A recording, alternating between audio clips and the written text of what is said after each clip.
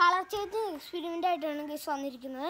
ഇത് ചെയ്യാൻ നമുക്ക് വേണ്ട കുറച്ച് മഞ്ഞപ്പൊടി പിന്നെ കുറച്ച് സോപ്പ് പൊടി കേട്ടോ പിന്നെ ഒരു നാരങ്ങ പിന്നെ ഒരു സ്പൂൺ നമുക്ക് ഇളക്കാൻ വേണ്ടി.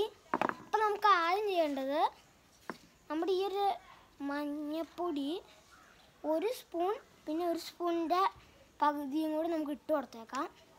എന്നിട്ട് നമുക്ക് നിറച്ച് വെച്ചേക്കാം കേട്ടോ അങ്ങോട്ട്. നമുക്ക് നല്ലോണം ഒന്ന് ഇളക്കി കൊടുക്കാം നമ്മുടെ സ്പൂണും കൊണ്ട്.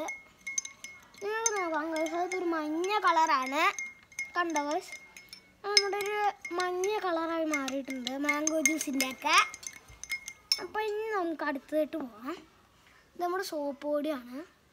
കുറച്ചങ്ങ് ഇട്ട് കൊടുത്തിട്ടുണ്ട് ഞാൻ. സോപ്പ് പൊടി. ഇനി നമുക്ക് ഒന്നും കൂടി ഇളക്കി നോക്കാം. കണ്ടോ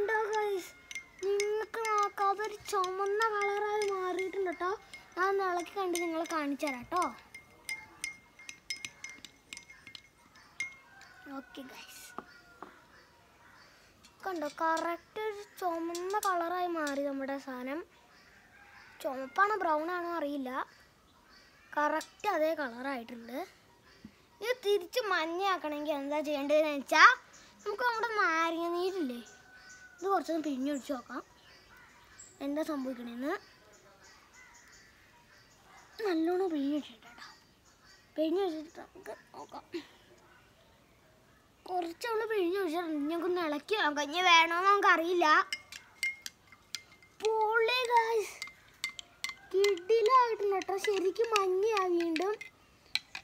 കണ്ടോ? വീണ്ടും നമ്മുടെ മഞ്ഞ കളറായി മാറിയിട്ടുണ്ട്.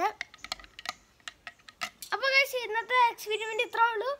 അപ്പോൾ നമ്മൾ വീഡിയോ ലൈക്ക് ചെയ്യൂ ഷെയർ ചെയ്യൂ. പിന്നെ പ്രത്യേകം ഒരു കാര്യം. സബ്സ്ക്രൈബ് ചെയ്യൂ ഗൈസ് അപ്പോൾ നമുക്ക് അടുത്ത വീഡിയോ കാണാം.